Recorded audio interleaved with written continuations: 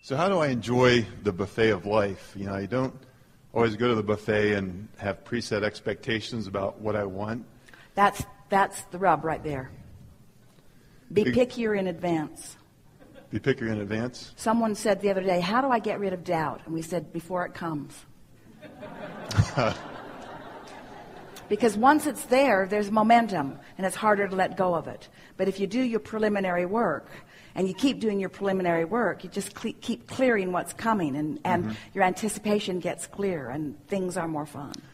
So, with all of the possibilities in life, just like with the buffet, it's really being clear on what you want going in and setting that expectation.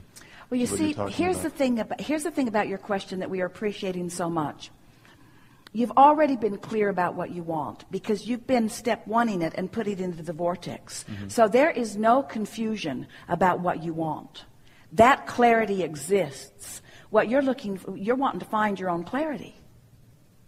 How about that? How about putting it into that context? You've already defined through life what you want. When someone's rude, you know you don't like that. You prefer people that are n- nicer. When, in other words, when you don't have enough of something like money, you know you want more. When you feel boxed in, you want to be out. In other mm-hmm. words, contrast has helped you to define, and those were very general, bulky statements, but you've defined incrementally and specifically. And that clarity exists. And Source stands right smack dab in the middle of that vibrational reality, knowing your clarity, not just knowing it, being your clarity, not just knowing and being it, but emanating your clarity. And so your work all the time is just to find it.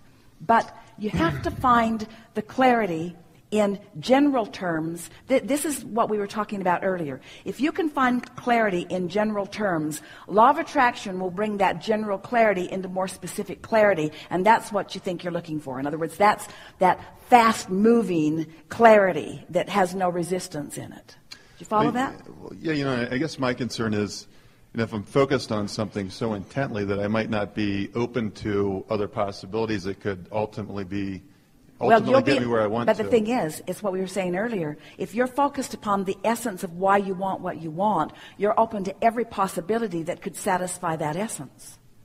In other words, when you start doing this vibrational work, that's really one of the great advantages of approaching this in a vibrational way, which means approach it in a, an emotional way, is that once you find anything that gives you that mood or that feeling of high flying, light-hearted, positive expectation, only things that match those frequencies will come to you.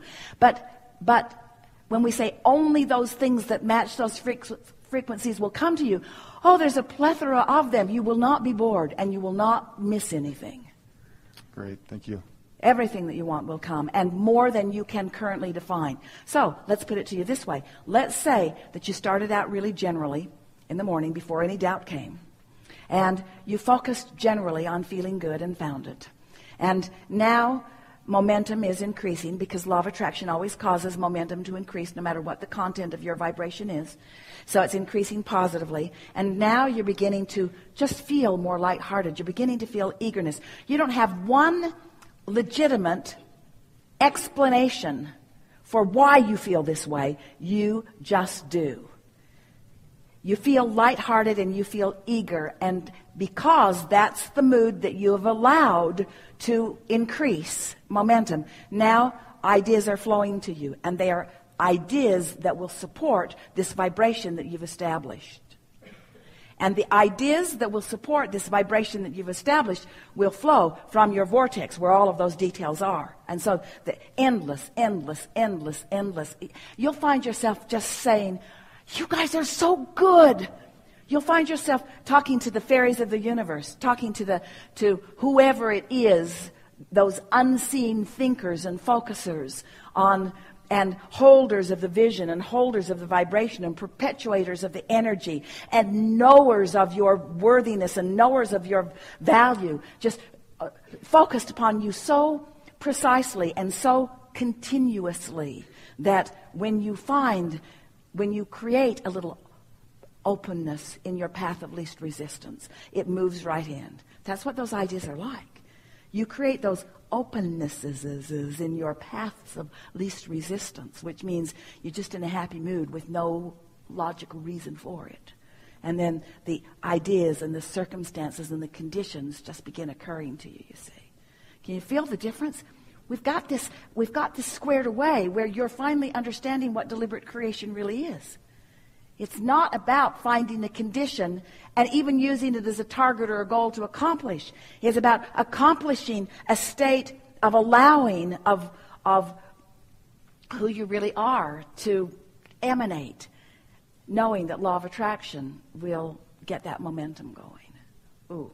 So these are the words that, that are helpful for you to hone in on and keep active in your vibration. Trajectory, really good word, which just means intentionality.